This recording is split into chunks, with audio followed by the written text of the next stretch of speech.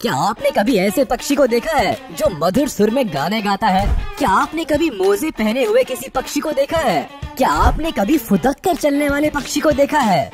आज हम आपको बताएँगे ऐसे ही दस पक्षियों के बारे में, जिन्हें देखने के लिए नसीब लगता है। ये इतने दुर्लभ है कि चुनिंदा लोग ही इसको देख पाते हैं। मगर आप भी इनको देख सकते हैं हमारी वीडियो के ज़रिए। Number ten, kakapo. काकापो नाम के इस पक्षी को आउल पैरेट भी कहा जाता है। वो क्यों कहा जाता है? शायद आप इसको देखकर समझ गए होंगे। ये एक ऐसा पक्षी है, जिसका चेहरा उल्लू की तरह दिखता है, लेकिन इसका रंग तोते की तरह हरा है। न्यूजीलैंड के घने जंगलों में पाया जाने वाला ये पक्षी तोतों की प्रजाति में सबसे ज़्यादा भारी पक्षी माना जाता है। उनकी लंबाई करीब 22 से 25 इंच तक होती है। काकापो की खास बात ये है कि ये पक्षी उड़ता नहीं है बल्कि फुदक फुदक कर चलता है, जिसकी वजह से ये ज़्यादातर शिकारियों का खाना बनता है। इस पक्षी का फुदक कर चलना ही एक कारण है, जिसकी वजह से इनकी संख्या लगभग 211 ही बची है। न्यूजीलैंड की सरकार इन पक्षियों को बचाने के लिए कई तरह के प्रोग्राम चलाती रहती है। साथ ही वहाँ के लोग भी पक्षियों की काफ़ी मदद करते हैं। यहाँ के लोगों को अगर कोई घायल काकापो दिखाई देता है तो इसका इलाज कराते हैं। साथ ही इनको खाना और पानी भी देते हैं। Number nine Junin grebe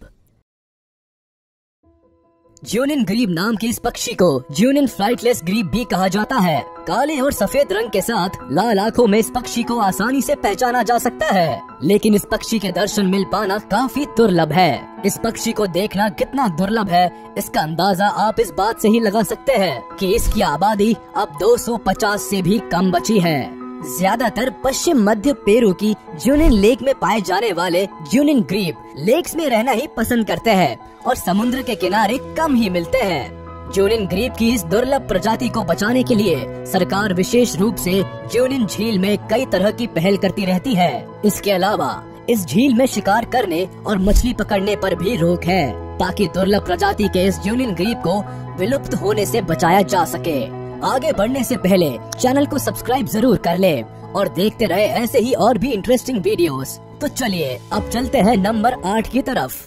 Number eight super lyre bird. Super lyre bird दुनिया के सबसे निराले और सुंदर पक्षियों में से एक है। ऑस्ट्रेलिया में पाया जाने वाला ये पक्षी अपनी काफ़ी सारी खासियतों की वजह से फ़ेमस है, जिसमें से एक है इसकी लंबी पूछ, दूसरा है इसकी नकल करने की कला। और तीसरा है गाना गाना। शायद आप सोच रहे होंगे कि नकल करना और गाना गाना तो तोते का काम है। तो कहीं ये तोते की प्रजाति में से एक तो नहीं, लेकिन यहाँ आप गलत है। ये एक तरह का पक्षी है, जो थोड़ा थोड़ा कबूतर की तरह दिखाई देता है। इस पक्षी को ज़्यादातर गाना गाते हुए ही देखा जाता है, लेकिन शायद अपनी इसी कला की वजह से सुपर ब्लायर बर्ड अब संकट में है, और इनका नाम IUCN की रेड लिस्ट में आ चुका है। क्योंकि जब यह पक्षी गाना गाता है तो शिकारी को इस तक पहुँचने में आसानी होती है।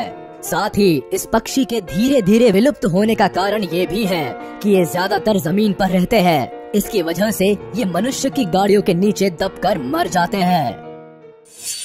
Number seven orange bellied parrot orange bellied parrot इस पूरी पृथ्वी पर सबसे नायाब पक्षियों में से एक माना जाता है।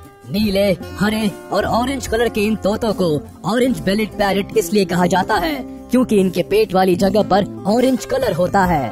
इस खास तोते की लंबाई लगभग 20 सेंटीमीटर तक होती है। ये ऑरेंज बेलिड पैरेट दूसरे पैरेट से बात करने के लिए एक तरह की बजिंग साउंड का इस्तेमाल करते हैं। ज़्यादातर तास्मानिया में पाया जाने वाला ये पक्षी सर्दियों के मौसम में दक्षिणी पूर्वी ऑस्ट्रेलिया में अपना समय बिताते हैं। इस वक्त ये पक्षी इतना खतरे में है कि आयुसीएन ने इस पक्षी को अपनी रेड लिस्ट में डाल दिया है।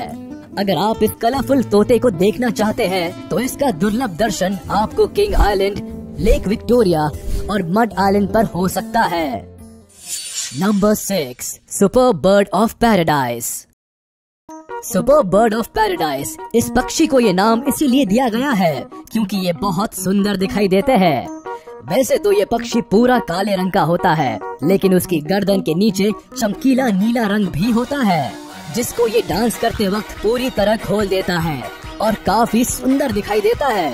इस प्रजाति के मेल पक्षी फीमेल पक्षियों को लुभाने के लिए अपने पंख खोलकर डांस करते हैं और अपनी इसी कला के लिए ये फ़ेमस है। इस प्रजाति के मेल और फीमेल पक्षी बहुत अलग दिखाई देते हैं, लेकिन मेल पक्षी ज़्यादा आकर्षक होते हैं।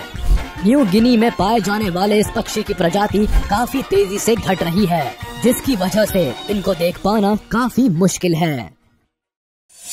Number five the greater sage grouse the greater sage grouse दिखने में थोड़ा अजीब लगता है लेकिन दुर्लभ प्रजातियों में से एक है। ये नॉर्थ अमेरिका का सबसे बड़ा पक्षी है, जिसको ग्राउस बर्ड के नाम से भी जाना जाता है। एक अडल्ट ग्रेटर सेज ग्राउस में पंजे से लेकर पंख तक सब कुछ नुकीला होता है। हल्के भूरे और काले रंग के दिखने वाले इस पक्षी का आगे का भाग दूसरे पक्षियों से काफ़ी अलग होता है। सन 2000 तक द ग्रेटर सेज ग्राउस को ग्राउस बर्ड ही कहा जाता था। लेकिन इसके बाद इनकी एक खास प्रजाति बनाई गई, जिसको द ग्रेटर सेज ग्राउस नाम दिया गया। अगर आप इस ग्रेट पक्षी के दर्शन करना चाहते हैं तो नॉर्थ अमेरिका में ये संभव है। और जब आप इस पक्षी के दर्शन करके वापस आए तो हमें कमेंट करके ज़रूर बताएँ कि आपका एक्सपीरियंस कैसा रहा। Number four Christmas Island frigate bird Christmas Island frigate bird देखने में ज़्यादा कुछ खास तो नहीं लगते, लेकिन दुर्लभ पक्षियों की प्रजाति में ज़रूर आते हैं। ये खास किस्म के पक्षी काले और भूरे रंग के होते हैं। इसके अलावा, मेल बर्ड्स में आगे का हिस्सा लाल रंग का होता है। तो वही अगर बात करें फीमेल बर्ड्स की तो इनका आगे का हिस्सा सफ़ेद रंग का होता है। मेल बर्ड्स फीमेल बर्ड्स को अपनी तरफ़ आकर्षित करने के लिए अपने लाल रंग वाले हिस्से को पूरी तरह फुला लेते हैं।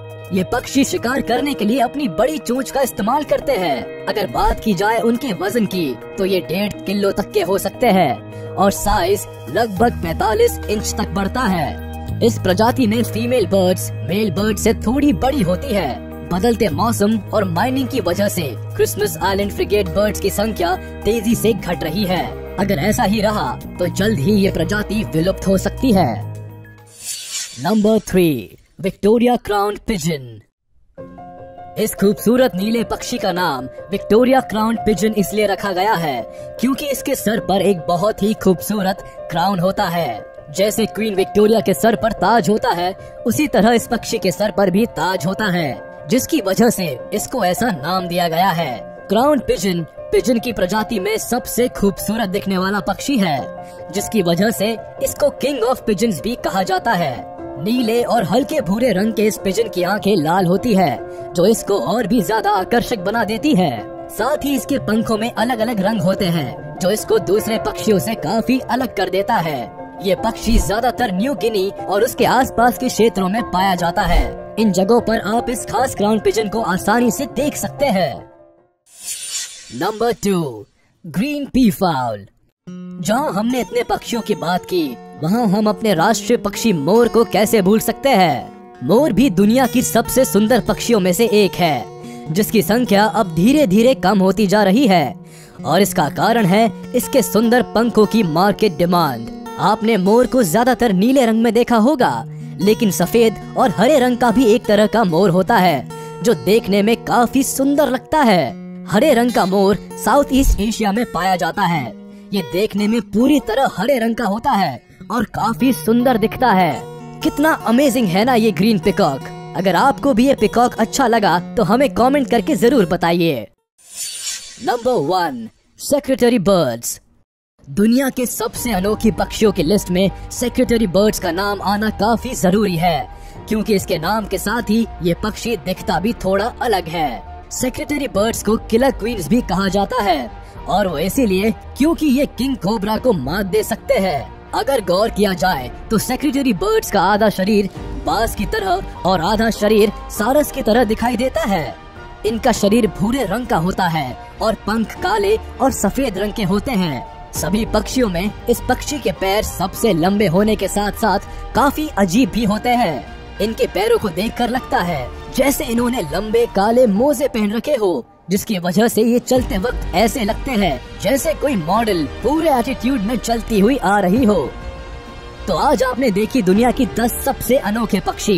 इन सब पक्षियों में आपको कौन सा पक्षी सबसे सुंदर और अनोखा लगा, हमें कमेंट करके ज़रूर बताइएगा। वीडियो अच्छी लगी हो तो इसको लाइक करें, चैनल को सब्सक्राइब ज़रूर करें, और बेल आइकन को हिट करें। ताकि ऐसी इंटरेस्टिंग और इन्फॉर्मेटिव वीडियोस आपसे छूट ना सके।